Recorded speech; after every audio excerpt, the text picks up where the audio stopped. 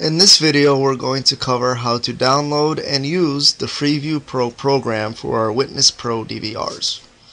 The first thing that we need to do is download the Freeview Pro program. So we're going to open up our web browser and go to websurveillance.com.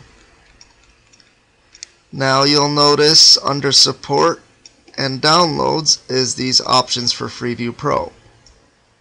Now you're going to want to find out from your installer which version of the program that you have because uh, some of them are not interchangeable. For instance, if you're running version 3.1c, you cannot use version 4.0 and vice versa. So once you go ahead and click on it, the program will download and you can uh, just go through the steps and install it. And it will put a little icon right here on your desktop. We're going to open up our uh, Freeview Pro program, double click it and this screen is going to come up. If it's version 3.1c, it's going to be uh, more blue and uh, green and gray. I'm sorry. Now to connect, we're going to go ahead and click on connect in this little corner here. And the DVR site name, we could leave it empty or name it whatever we want. Really doesn't matter. Where what does matter is the next three things: the IP address in this case, I'm going to use dot 15 dot 15. That's the one that we have at our office.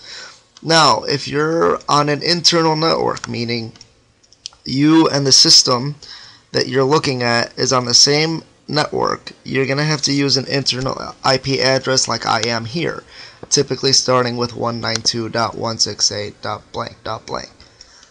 Now, if you are on a outside network, you're going to have to use your web surveillance um, WS remote IP address. So that would be something like demo.wsremote.com, demo being whatever your installer told you it was be. But for now, we're going to use our internal IP address. Now, unless we tell you otherwise, the default port is always going to be 1001 for most of our customers that does not change. And then enter obviously your username and your password for the DVR system. Now we have a few options right here. The first one is live video, obviously just for live playback. You could also do remote playback video clips, which allows you to remotely playback videos as if you were sitting right in front of the, P the DVR itself.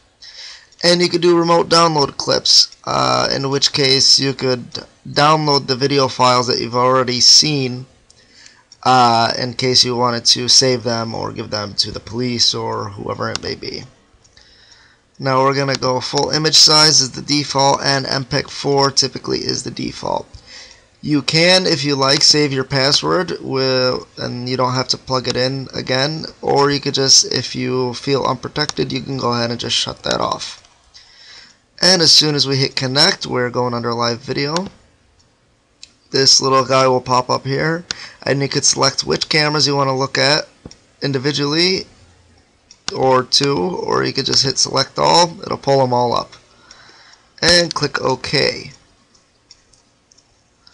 Now you'll notice all the cameras come up. You could open it up. This is actually my tech room. And you could open them up just like so now, the nice thing about the version 4.0 and up software is this little button right here.